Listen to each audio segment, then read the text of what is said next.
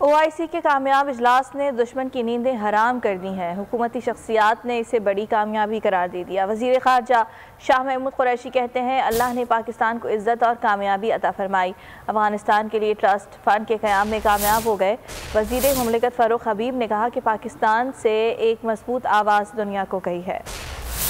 ओ आई सी conference का कामयाब इनका हुकूमती शख्सियात का इजहार तशक्र वजी खारजा शाह महमूद कुरैशी ने कहा की बीस वज्राय खारजा और दस नायब वज्राय खारजा की इजलास में शिरकत पाकिस्तान की बड़ी कामयाबी है वज़ीर अजम इमरान खान की क्यादत में अल्लाह तला ने पाकिस्तान को सुरखरू किया अफगान अवाम भूख और कहत का सामना कर रहे हैं अफ़गानिस्तान के लिए ट्रस्ट फंड के क्याम में कामयाब हो गए। वज़ीर अजम आज़ाद कश्मीर सरदार अब्दुल कयूम न्याजी का कहना था कि वज़ीर अजम ने मुस्लिम उम्मा की तवज्जो कश्मीर और अफ़गानिस्तान की तरफ़ दिलाई। अफ़गानिस्तान में अवाम भूख से मर रहे हैं और कश्मीर में गोलियों से मर रहे हैं। मुतफिक है कि मौत पर हक है।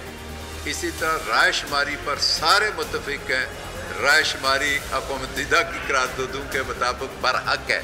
और इस पर हम सारे मुतफिक वज़ीर ममलिकत फरूख हबीब ने कहा है कि ये पाकिस्तान के लिए एक बहुत बड़ा दिन है। दुनिया ने पाकिस्तान की कोशिशों को सराहा है। पूरी दुनिया को एक बड़ा स्ट्रॉन्ग मैसेज जो है वो ओ के प्लेटफॉर्म से गया है।